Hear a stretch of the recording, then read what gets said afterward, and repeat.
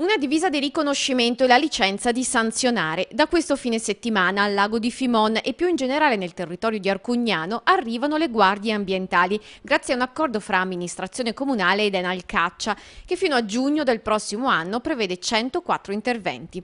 I volontari si occuperanno di vigilanza venatoria, ambientale, di flora e fauna e affiancheranno la polizia locale nella sorveglianza delle aree picnic.